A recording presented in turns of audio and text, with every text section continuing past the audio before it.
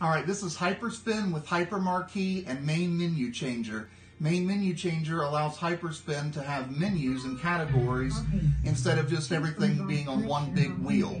So as you can see, I've got arcade, consoles, handhelds, computers, pinball, and collections, and then also a search bar. If I go into arcade, Arcades. Okay. Launch. you notice the monitor at the top will change.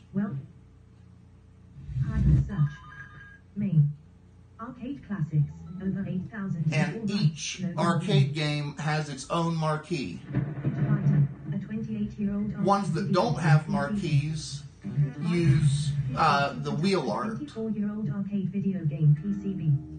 Pitbull Supers. A 25. Pitbull Superstar. So some have 25 marquees, some don't. Megastar. A 20. Pitbulls 2.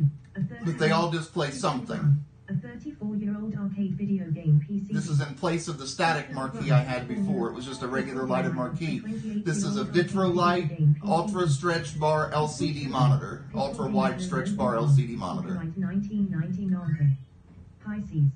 Pisces. Copy. Pirates. A 24. Pirate treasure. A 36 year pirate ship hydrogen. And then we can go look at some consoles.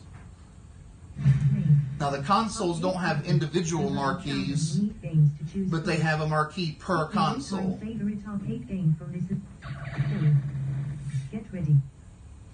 Consoles being like Nintendo, Super Nintendo, Sega, etc. So that's the default marquee, and that's a copy of the marquee that I used before. I had a monitor in there. Uh, it looks exactly the same as the old marquee. So there's PlayStation 2, PlayStation 2 is a PlayStation. The PlayStation. Neo Geo doesn't have one yet, is a game so it uses the wheel art. UK that was released in the UK Neo Geo. Philips CDI. Panasonic 3DO. The 3DO. Sega Dreamcast. The Dreamcast is a video game console with Sega Saturn. The Sega Saturn is a Sega 32X. Sega Genesis looks pretty cool.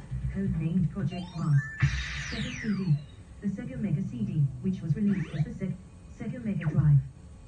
Sega Genesis. The Sega Genesis, also known as All right, that's about it. is a fourth generation That's it, video sir. game console.